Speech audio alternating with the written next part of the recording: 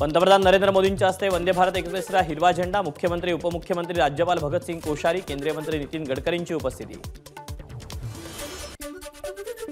पंतप्रधान मोदींच्या हस्ते फ्रीडम पार्क येथील मेट्रो फेज वनच्या प्रदर्शनाची पाहणी विद्यार्थ्यांशी साधला संवाद. पंतप्रधानांचा तिकीट काढून मेट्रोनं प्रवास मोदींच्या स्वागतासाठी मेट्रो स्टेशनच्या परिसराची छान सजावट.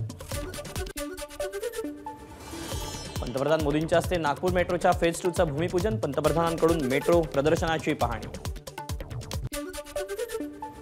पंतप्रधान मोदींच्या हस्ते नागपूर ते शिर्डी समृद्धी महामार्गाचं लोकार्पण समृद्धी महामार्गावरून मोदींचा प्रवास. पंतप्रधानांच्या हस्ते समृद्धी महामार्गाच्या उद्घाटनानंतर मोदींची मुख्यमंत्री एकनाथ शिंदेंना शाबासकीची थाप त्यानंतर मोदींकडून समृद्धी महामार्गाची पाहणी. पंतप्रधान मोदींच्या हस्ते नागपूर एम्स रुग्णालयाचं लोकार्पण विविध विकास कामांची पाहणी तर एम्स रुग्णालयातील विद्यार्थ्यांशीही संवाद. समृद्धी महामार्गाचं काम पंतप्रधान मोदींमुळे शक्य समृद्धी महामार्गाचं काम जेव्हा सुरू केलं तेव्हाच ठरवलं होतं. याच याचं उद्घाटन पंतप्रधानांच्या हस्ते व्हावं उपमुख्यमंत्री देवेंद्र फडणवीसांचं संबोधन. समृद्धी महामार्गाचं उद्घाटन माझ्यासाठी स्वप्नपूर्ती आनंद आणि अभिमानाचा क्षण मुख्यमंत्र्यांची प्रतिक्रिया. महाराष्ट्राचा अपमान करणारे राज्यपाल पंतप्रधान नरेंद्र मोदींच्या मंचावर कसे उद्धव ठाकरेंचा भाजपला सवाल? पंतप्रधानांचा आजचा दौरा हा पर्यटन दौरा काँग्रेस प्रदेशाध्यक्ष नाना पटोलेंची मोदींच्या नागपूर दौऱ्यावर टीका. पंतप्रधानांना भेटण्यासाठी आलेल्या अमरावतीच्या खासदार नवनीत राणा यांना नागपूरच्या ट्रॅफिकचा फटका यामुळे नवनीत राणा गाडीतून खाली उतरल्या आणि चालत जात त्यांनी कार्यक्रमाचं ठिकाण गाठलं.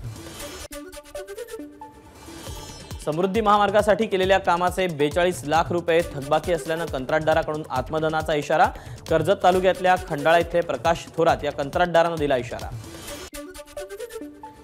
बच्चू कडू हे जर गुवाहाटीला गेले नसते तर दिव्यांगांसाठी स्वतंत्र मंत्रालय विभाग सुरू झाला नसता. ठाकरे गटाचे नेते सचिन अहिरांकडून बच्चू कडूंचं कौतुक. सांगलीत एसटी चालवत असताना चालकाला आली चक्कर तर चालकाच्या प्रसंग अवधानामुळे वाचले प्रवाशांचे प्राण. दोन वळूंच्या भांडणात एक वळू विहिरीत पडला जेसीबीच्या मदतीनं ग्रामस्थांनी दिलं वळूला जीवदान. पालघरच्या निंबोलीतील उच्च शिक्षित ममता परशुराम गवळी या चोवीस वर्षात तरुणीची गळफास घेऊन आत्महत्या. ममता उद्यापासून वसई विरार महानगरपालिकेत जनसंपर्क अधिकारी म्हणून कामावर रुजू होणार होती. परभणी शैक्षणिक सहलीची बस आणि एसटीची धडक बावीस जण जखमी सहा जणांची प्रकृती गंभीर. चंद्रपूरवरून यवतमाळच्या दिशेने येणाऱ्या ट्रॅव्हलची पंधरा मेंढ्यांना धडक पंधरा मेंढ्या जागीच ठार. शरद पवारांच्या वाढदिवसानिमित्त उद्या व्हर्च्युअल रॅलीचं आयोजन फेसबुक आणि युट्यूबच्या माध्यमातून सभेचं आयोजन. जागतिक पर्वत दिनाच्या निमित्तानं नगरमध्ये ट्रॅकेथॉन स्पर्धेचं आयोजन जवळपास दोनशे नगरकरांचा स्पर्धेत सहभाग.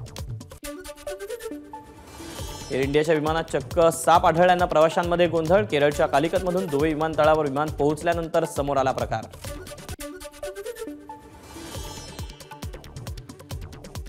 वाहनांच्या किमती वाढू लागल्यानं आता वाहन खरेदीदारांची डोके वाढ डोकेदुखी वाढली की या कंपनीच्या गाड्यांची देखील किंमत वाढणार. ट्विटरवर ब्ल्यू बॅचसाठी लागणार नऊ डॉलर तर आय ओ एस युजर्सना लागणार अकरा डॉलर. केरळ उच्च न्यायालयाचा घटस्फोटाबाबत महत्त्वाचा निर्णय घटस्फोटासाठी किमान एक वर्ष विभक्त राहण्याची अट केरळ न्यायालयाकडून रद्द. एबीपी माझा. उघडा डोळे बघा नीट.